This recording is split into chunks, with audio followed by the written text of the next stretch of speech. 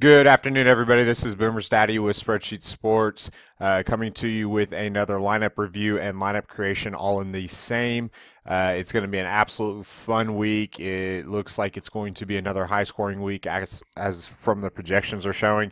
So, uh, we've got a lot of stuff to get after, and it should be absolutely, completely um, entertaining. So, uh, this is the lineup review from last week. This is the, uh, if you guys don't know, we are in the Fantasy Pros um, expert uh, DFS contest every single week.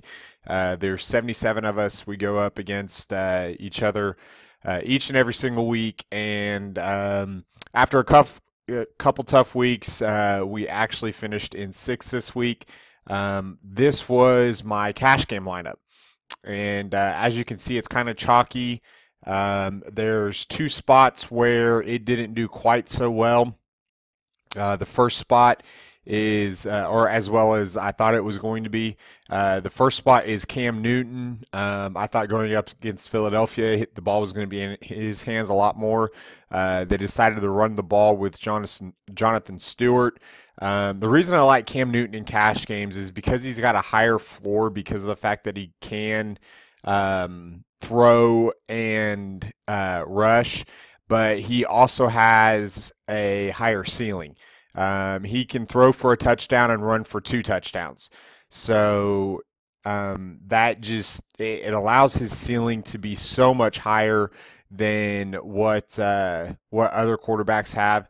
And honestly, really, the uh, way to go probably was to uh, save a save a hundred dollars and go with uh, Carson Palmer down at eight thousand. So that would have actually uh, um, won me about hundred percent of my head to heads rather than about ninety percent. So um, and then the other one was Larry Fitzgerald. Uh, if I, I could have gone John Brown, I could have gone, um, but I could have gone Ma- Michael Floyd. I felt Michael Floyd was more of a GPP play, and John Brown he was uh, questionable going into uh, uh, Sunday, and this was a Monday night game, so it was kind of hard to really kind of gauge that.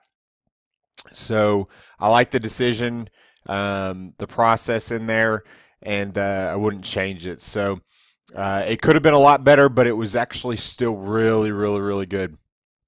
Uh, I want to go over a couple more things. Uh, Devonta Freeman, obviously, 50. You can see he was 50% owned. Um, he was coming off of, uh, I mean, an unbelievable tear. We all know that uh, he had just a outrageous tear the last couple weeks. Um, so you can start to look for that ownership percentage to go down a little bit now that he's kind of come back down to earth. Uh, Todd Gurley, 80% owned. If you didn't have Todd Gurley in your lineups, uh, I, he just, it was an unbelievable matchup going up against Cleveland. Um, that was the, the most predictable uh, 30 point fantasy game that I've ever been, a, been around. Uh, and then a nice correlation play with the St. Louis Rams defense. Um, Mike or Andrew Franks, uh, obviously, he wasn't. Anytime you can get ten points out of your kicker, you got to be happy. But he wasn't the best kicker of the of the the weekend. Um, uh, da, da, da, who was it? Uh, Minnesota Vikings kicker um, Blair Walsh. Blair Walsh actually had 20 points, um, so that was uh, kind of crazy. Uh, Michael Crabtree, I like, I love Crabtree for cash games. He actually has he didn't have as big of a game as Amari Cooper, but just focusing on the process and not the results. Uh, Michael Crabtree actually has uh, seven more targets than Cooper does, and he has uh, played less. Um, he actually left the game halfway early. Uh, Ladarius Green going up up against Oakland, 16 and a half points from your tight end. You got to be happy on that. Uh, it's it's one of the the things that you got to kind of target, keep targeting, and keep targeting. With Antonio Gates out, Ladarius Green is going to get work. So that's always good. Uh, T.Y. Hilton, I just felt going against New Orleans with the highest total. Um, T.Y. Hilton's good enough that with being the number one target, everybody was focused on Donte Moncrief. Uh, I thought T.Y. Hilton was the play in that one. So uh, this was just my cash game lineup. It was actually kind of nice. I had a good weekend overall. Uh, really, really good. Hope you guys did as well. Um, so this week we are going to have to look at a couple different things. Um, obviously, we know that we're going to take this down. Um, I'm going to make this point. Uh, make it point three. Uh, we had point two last last week, um, or we had point zero five. Oops, five. Uh, the season four, last three games. So 0.15. So this will probably be my settings throughout the rest of the year. Um, let's go player history 0.25, 0.25, 0.25, 0.25. So let's just do that right there, just like that. So uh, let's see what the manual adjustments are. EJ Manuel, Michael Vick. We can delete that. Uh, let's project that um, Ben is going to be back. We can take out the Martavis Bryant. Um, because actually, let's put that back up here.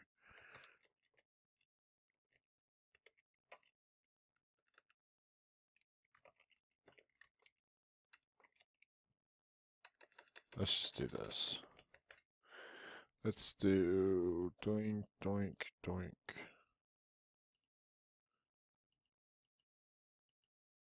Let's just do that right there. so I can make sure I spell it right. So we can go through there. That's good.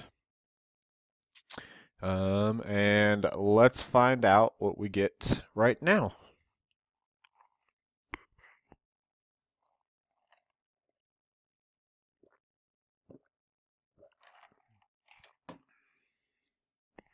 Now, this is obviously going to include some of the Thursday games, and we'll go back and we'll flip it here in just a minute.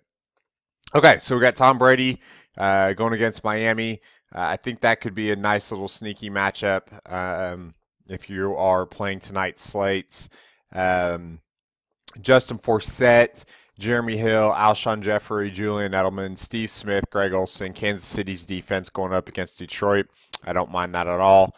Um, Chris Boswell, uh, Pittsburgh's kicker, awesome. So this actually looks like a pretty chalk, uh, pretty nice little lineup um, that we can do. Uh, let's go back here to projections. Scroll a little bit. Oops, let's just extend this. Can't hear that was my mail. Uh, don't forget that we do have another London game this week, so um, let's exclude the two the Thursday and the Sunday morning game and click and see what we come up with.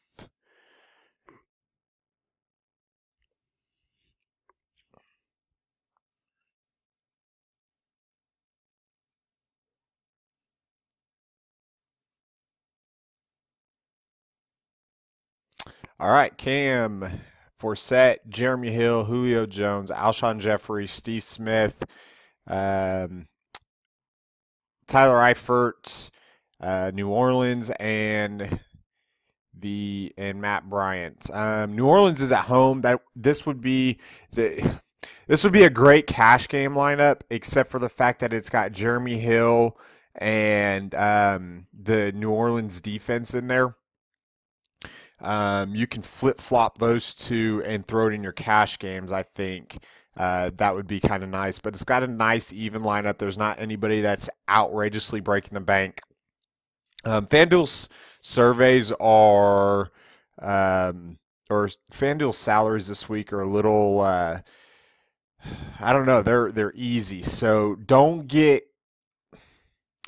My advice to you is don't get caught into a rut of making um, the ultimate chalk lineup uh, for your GPPs because I think everybody's going to have it on FanDuel because this is so easy. Um, put a little bit more thought and put a, little bit more uh, um, depth into your lineup. That way you can uh, make sure you differentiate yourself. Uh, and then obviously we'll have the ownership percentages uh, tonight so we can kind of see where the public is going on this and we can kind of adjust and adapt as we need to. So, all right, let's flip over here to DraftKings and click and see what the lineup is for DraftKings.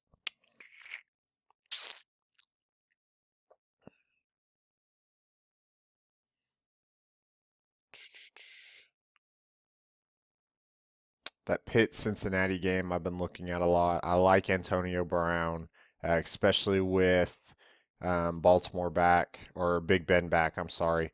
Um, I'm not sure I like Crockett Gillmore here. I love Chris Johnson this weekend. Um, absolutely love Chris Johnson. So uh, Jonathan Stewart uh, going against Indianapolis. I don't mind that. Um, Hopefully he can get in the end zone because he did have over 100 yards rushing. So I like this again. Uh, so if you're going, I again, I still, I, I think the Saints defense is a nice, nice, nice um, tournament play because they are at home going against the Giants. The Giants haven't really done a lot this year, uh, and Eli is Eli is Dr. Jekyll and Mr. Hyde right now. So um, I, I don't know if it's the plays that they're calling or if he's just being. I, am not sure really what it is. So um, you can uh, you can take it for what it's worth, but I think the uh, Saints defense is definitely in play this weekend. So. Uh, I do like Drew Brees at 6,700 just to kind of point this out a little bit. You can see our projected uh, value is pretty nice um, on him. Also, Cam Newton. Andy Dalton, I think, is going to have a good game. Uh, this could be the game, though, that uh, Dalton has that uh, that letdown game just because of everything that has gone on before this year. So, um, all right, guys, that's it for me for NFL this or uh, today. Uh, look for the Fantasy Hub article on the Fantasy Hub blog tomorrow and the plays for cash and GPP on Saturday. Uh, good luck to everybody. If you have any questions about NBA or NFL this week, please hit us up on Twitter at Sheet Sports or myself at Boomers DFS Daddy. Uh, make sure you subscribe to our YouTube channel so you can get the updates automatically whenever I post videos. And be sure to join in the conversation on the Google Plus community. So uh, for Spreadsheet Sports, I am Boomers Daddy. Goodbye, everybody.